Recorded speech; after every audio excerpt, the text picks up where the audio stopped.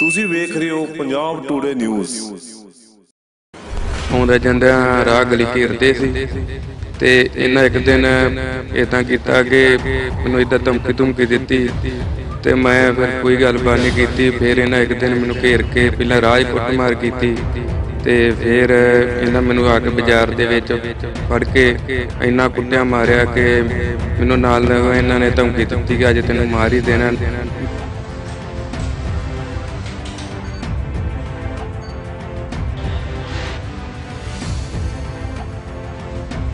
ਜਾਂਦਿਆਂ ਮੈਂ ਘਰੇ ਜਦੋਂ ਵੀ ਆਉਂਦਾ ਜਾਂਦਾ ਹਾਂ ਤੇ ਇਦਾਂ ਪੁਰਾਣੇ ਕੋਈ ਗੱਲਬਾਤ ਮਾੜਾ ਮੋੜ ਝਗੜਾ ਹੋਇਆ ਸੀ, ਉਹ ਝਗੜੇ ਦੇ ਸੰਬੰਧ ਹੀ ਇਹ ਮੈਨੂੰ ਆਉਂਦਾ ਜਾਂਦਿਆਂ ਰਾਹ ਗਲੀ ਘੇਰਦੇ ਸੀ ਤੇ ਇਹਨਾਂ ਇੱਕ ਦਿਨ ਇਦਾਂ ਕੀਤਾ ਕਿ ਮੈਨੂੰ ਇਦਾਂ ਧਮਕੀ ਧਮਕੀ ਦਿੱਤੀ ਤੇ ਮੈਂ ਫਿਰ ਕੋਈ ਗੱਲਬਾਤ ਨਹੀਂ ਕੀਤੀ, ਫਿਰ ਇਹਨਾਂ ਇੱਕ ਦਿਨ ਮੈਨੂੰ ਘੇਰ ਕੇ ਪਹਿਲਾਂ ਰਾਹ 'ਚ ਕੁੱਟਮਾਰ ਕੀਤੀ ਤੇ ਫਿਰ ਇਹਨਾਂ ਮੈਨੂੰ ਆ ਕੇ ਬਾਜ਼ਾਰ ਦੇ ਵਿੱਚ ਫੜ ਕੇ ਇੰਨਾ ਕੁੱਟਿਆ ਮਾਰਿਆ ਕਿ ਮੈਨੂੰ ਨਾਲ ਨਾਲ ਇਹਨਾਂ ਨੇ ਧਮਕੀ ਦਿੱਤੀ ਕਿ ਅੱਜ ਤੈਨੂੰ ਮਾਰ ਹੀ ਦੇਣਾ। ਮੈਨੂੰ ਇਹ ਧਮਕੀ ਦਿੱਤੀ ਕਿ ਜੇ ਤੂੰ ਕਿਤੇ ਥਾਣੇ ਦਰਖਾਸਤ ਦਿੱਤੀ ਜੇ ਕੋਈ ਵੀ ਕਾਰਵਾਈ ਕੀਤੀ ਤੇ ਤੈਨੂੰ ਤੇ ਤੇਰੇ ਪਰਿਵਾਰ ਨੂੰ ਖਤਮ ਕਰ ਦਿਆਂ ਮਾਰ ਹੀ ਦੇਣਾ ਜਾਨੂੰ। ਤੇ ਇਹ ਆਉਂਦੇ ਜਾਂਦੇ ਮੈਨੂੰ ਇਹੋ ਹੀ ਤੇ ਅੱਗੇ ਵੀ ਧਮਕੀ। ਕਿੰਨੇ ਕੁ ਜਣੇ ਜਦੋਂ ਤੇ 15 20 ਜਣੇ ਸੀ ਤੇ ਸਾਰਿਆਂ ਨੇ ਜੋ ਦਾਤਰ ਕੋਈ ਜੋ ਵੀ ਕਿਸੇ ਦੇ ਹੱਥ 'ਚ ਹੈਗਾ ਇਹ ਸਾਰਾ ਕੁਝ ਇਦਾਂ ਮਾਰੀ ਜਾਂਦੇ ਸੀ ਤੇ ਇਹਨਾਂ ਮੈਨੂੰ ਜਾਨੋਂ ਮਾਰਨ ਤੱਕ ਗਏ। ਕੀ ਨਾਂ ਕਿਹਨਾਂ ਬੰਦੇ ਤੇ ਨਾ ਉਹਨਾਂ ਦੇ ਇੱਕ ਦਾ ਨਾਂ ਗੁਰਜੰਟ ਹੈ ਇੱਕ ਦਾ ਇੱਕ ਦਾ ਨਾਂ ਬਿਕਰ ਤੇ ਇੱਕ ਦਾ ਨਾਂ ਮਨਪ੍ਰੀਤ ਤੇ ਪਿਓ ਉਹਨਾਂ ਦੇ ਦਾ ਨਾਂ ਹੈ ਸੁੱਖਾ ਸਿੰਘ।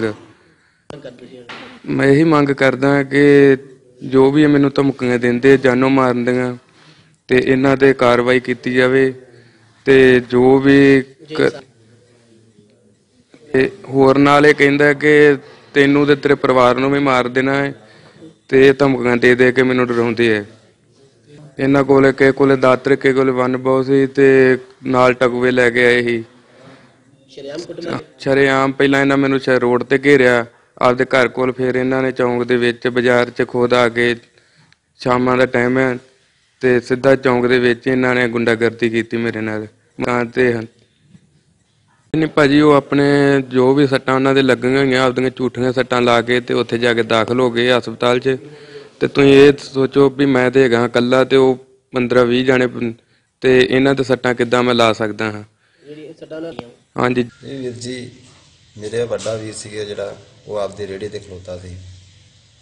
ਇਹ ਦਿਨੇ ਜਦੋਂ 10 11 ਵਜੇ ਜਾ ਕੇ ਇਹਦੇ ਗਲ ਪੈ ਗਏ ਆ ਸਾਰੇ ਜਣੇ। ਤੇ ਫਿਰ ਵੀ ਉਹ ਭੱਜ ਕੇ ਇਹਨਾਂ ਤੋਂ ਜਾਨ ਬਚਾ ਕੇ ਚਲਾ ਗਿਆ। ਅਸੀਂ ਮੈਂ ਤਾਂ ਮੇਰਾ ਡੈਡੀ ਉਹਦਾ ਗਏ ਆ ਲਾਵਾਂ ਦਿਨ ਰਾਤ ਨੂੰ ਸ਼ਾਮੀ। ਇਹ ਰਾਤ ਸਾਡੇ ਫਿਰ ਗਲ ਪੈ ਗਏ ਆ। ਮੰਗਾ ਪਾਲਾ ਪਾਲੇ ਦਾ ਮੁੰਡਾ ਤੇ ਰਾਜਵਿੰਦਰ। ਪਹਿਲਾਂ ਉਹਨਾਂ ਨੇ ਝਗੜਾ ਸ਼ੁਰੂ ਕੀਤਾ ਤੁਹਾਡੇ ਨਾਲ? ਝਗੜਾ ਉਹਨਾਂ ਨੇ ਸ਼ੁਰੂ ਕੀਤਾ ਸੀ ਅਸੀਂ ਨਹੀਂ ਉਹਨਾਂ ਨਾਲ ਕੀਤਾ ਝਗੜਾ। ਇਹਨਾਂ ਨੂੰ ਦੱਸਣ ਕਿ ਨਾ ਝਗੜਾ ਹੋਗਾ ਕਰੋ ਸਾਡੇ ਨਾਲ। ਕੋਈ ਦਾਤਰ ਕਿਰਪਾਨਾਂ ਨੀ ਤੁਹਾਡੇ ਕੋਲ ਹੈਗੀਆਂ ਨਹੀਂ ਸਾਡੇ ਕੋਲ ਕੋਈ ਦਾਤਰ ਕਿਰਪਾਨ ਨਹੀਂ ਸੀ। ਭਾਜੀ ਉਹ ਸ਼ਾਮ 6:30 ਦਾ ਟਾਈਮ ਸੀ। ਚੌਂਕ ਦੇ ਵਿੱਚ ਚਹਿਲ ਪਹਿਲ ਸੀ ਪੂਰੀ। ਤੇ ਉਹ 10-15 ਜਣੇ ਮੁੰਡੇ ਇਧਰੋਂ ਆਏ ਆ ਰਾਜੋ ਕੇ ਸਾਈਡ ਤੋਂ। ਚੌਂਕ ਦੇ ਵਿੱਚ ਉਹਨਾਂ ਨੇ ਇਹ ਆਪਣੇ ਰੇੜੇ ਤੇ ਖਲੋਤੇ ਮੁੰਡੇ। ਇਹਨਾਂ ਨੇ ਡਾਂਗਾ ਬਣਾਉਣੀਆਂ ਇੱਟਾਂ ਬਣਾਉਣੇ ਸ਼ੁਰੂ ਕਰਤੇ। ਉਹ ਦੋ ਜਣੇ ਸੀ ਉਹ 15 ਜਣੇ ਸੀ। ਪੰਜਾਂ ਚੋਂ ਮਿੰਟਾਂ ਦੇ ਵਿੱਚ ਉਹਨਾਂ ਨੂੰ ਸੱਟਾਂ ਲਾ ਕੇ ਦੋ ਫਰਾਰ ਹੋ ਗਏ। ਦੂਜੀ ਪਾਰਟੀ ਦੇ ਵੀ ਸੱਟ ਲੱਗੀ ਹੈ ਜਿਹੜੀ ਦੂਜੀ ਨਹੀਂ ਉਹਨਾਂ ਦੇ ਕੋਈ ਸੱਟ ਨਹੀਂ ਲੱਗੀ। ਦੇ ਨਾ। ਇਹਦੇ ਸਿਰ 'ਚ ਵੀ ਲੱਗੀਆਂ ਬਾਹਾਂ ਤੇ ਵੀ ਲੱਗੀਆਂ ਮਤਲਬ ਲੋ ਇਹਨਾਂ ਸ਼ਰਿਆਮ ਬਦਮਾਸ਼ੀ ਕੀਤੀ ਉਹ ਮੁੰਡਿਆਂ ਨੇ। ਸ਼ਰੇਆਮ ਜੀ। ਇੱਟੇ ਚਲਾਏ ਮਤਲਬ ਇਹ ਆ ਵੀ ਹੋਰ ਨਹੀਂ ਕਿਸੇ ਨੂੰ ਵੱਜ ਗਏ। ਤੁਹਾਡੀ ਕਿੰਨੀ ਕੁ ਦੂਰ ਦੂਰ ਦੁਕਾਨ ਇਹਨੇ ਦੁਕਾਨ ਦੂਰ ਹੈ? ਕਿੰਨੀ ਕੁ ਦੂਰ ਦੁਕਾਨ ਤੁਹਾਡੀ? ਮੈਂ ਦੋ ਦੁਕਾਨਾਂ ਛੱਡ ਗਏ ਜੀ। ਬਹੁਤ ਅੱਛਾ ਫਰੈਂਡ ਹੈ ਜੀ। ਬਿਲਕੁਲ ਬਹੁਤ ਆਪਣੀ ਮਿਹਨਤ ਦੀ ਕਮਾਈ ਕਰਦਾ ਜੀ। ਬਹੁਤ ਹੀ ਇਨਸਾਨ ਵਧੀਆ ਹੈ, ਆਪਣਾ ਮਿਹਨਤ ਮਜ਼ਦੂਰੀ ਨਾਲ ਗੁਜ਼ਾਰਾ ਕਰਦਾ ਪਿਆ ਜੀ। ਜਿਸ ਦਾ ਜੀ ਕੋਈ ਪਰਿਵਾਰਕ ਚ ਵਿੱਚ ਕੱਲਾ ਕੱਲਾ ਹੈਗਾ ਨਾ ਇਹਦਾ ਕੋਈ ਮਾਤਾ ਹੈ ਨਾ ਪਿਤਾ ਹੈ। ਤੇ ਮੇਰਾ ਫਰੈਂਡ ਹੋਣ ਦੇ ਨਾਤੇ ਮੇਰੇ ਨਾਲ ਬਹੁਤ ਵਧੀਆ ਦੇ ਰਿਲੇਸ਼ਨ ਨੇ। ਤੇ ਇੱਕ ਦਿਨ ਇਹਨਾਂ ਨੇ ਜੋ ਹੈਗਾ ਵੀ ਬਿਕਰ ਸਿੰਘ ਗੁਰਜੰਟ ਸਿੰਘ ਤੇ ਮਨਪ੍ਰੀਤ ਸਿੰਘ ਤੇ ਇਹਨਾਂ ਦਾ ਫਾਦਰ ਸੁਖਦੇਵ ਸਿੰਘ ਇਹਨਾਂ ਨੇ ਇਹਨੂੰ ਸ਼ਰੇਆਮ ਚੌਂਕ ਦੇ ਵਿੱਚ ਬਹੁਤ ਕੁੱਟਿਆ। ਜਦ ਕਿ ਮੈਂ ਆਪਣਾ ਘਰ ਦੇ ਵਿੱਚ ਕੰਮ ਕਰ ਰਿਹਾ ਸੀ ਤੇ ਮੈਨੂੰ ਕਿਸੇ ਨੇ ਚੌਂਕ ਦੇ ਵਿੱਚੋਂ ਕਾਲ ਕੀਤਾ ਵੀ ਤੇਰੇ ਫਰੈਂਡ ਨੂੰ ਬਹੁਤ ਕੁੱਟ ਰਹੇ ਨੇ। ਤੇ ਜਦ ਮੈਂ ਆਣ ਕੇ ਦੇਖਿਆ ਤੇ ਇਹ ਬਹੁਤ ਹੀ ਖੂਨ ਨਾਲ ਲੱਥਪੱਥ ਹੋਇਆ ਪਿਆ ਸੀ ਤੇ ਮੈਂ ਉਸ ਤੋਂ ਬਾਅਦ ਇਹਨੂੰ ਫੌਰਨ ਚੁੱਕ ਕੇ ਹਸਪੀਟਲ ਲੈ ਕੇ ਆਇਆ ਜੀ।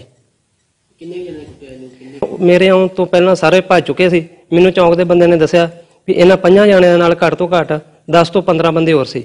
ਬਹੁਤ ਸ਼ਰੇਆਮ ਚੌਂਕ ਦੇ ਵਿੱਚ, ਅਮਰਕੋਟ ਦੇ ਵਿੱਚ ਜੀ। ਇਹਨਾਂ ਦੇ ਵਿੱਚ ਦਾਤਰ, ਕੁਹਾੜੀਆਂ ਤੇ ਵਾਂਸ, ਬੈਸਬਾਲ, ਹਾਕੀਆਂ ਸਾਰੇ ਬੰਦਿਆਂ ਕੋਲ ਇੱਕ ਇੱਕ ਹਥਿਆਰ ਸਾਰਿਆਂ ਕੋਲ ਸੀ ਜੀ। ਨਹੀਂ, ਅਜੇ ਤੱਕ ਅੱਜ 3 ਦਿਨ ਹੋ ਗਏ, ਸਾਡੇ ਕੋਈ ਕਾਰਵਾਈ ਨਹੀਂ ਹੋ ਚੁੱਕੀ। ਸ਼ਾਮ ਨੂੰ 6:30 ਵਜੇ ਨਾ ਰੇੜੀਆਂ ਦੇ ਜਗ ਖਲਾਰਨ ਤੋਂ ਇਹਨਾਂ ਦਾ ਰੋਡ ਦੇ ਉੱਤੇ ਝਗੜਾ ਹੋਇਆ ਸੀ। ਇੱਕ ਜਣਾ ਸਬਜ਼ੀ ਵੇਚਦਾ, ਇੱਕ ਜਣਾ ਫਰੂਟ ਵੇਚਦਾ। ਤੇ ਜਦੋਂ ਮੈਨੂੰ ਮੈਸੇਜ ਮਿਲਿਆ ਸੀ, ਮੈਂ ਇੱਥੋਂ ਤੁਰੰਤ ਡਿਊਟੀ ਅਫਸਰ ਜਿਹੜਾ ਵਾ, ਉਹ ਸਮੇਤ ਫੋਰਸ ਭੇਜਿਆ ਸੀ।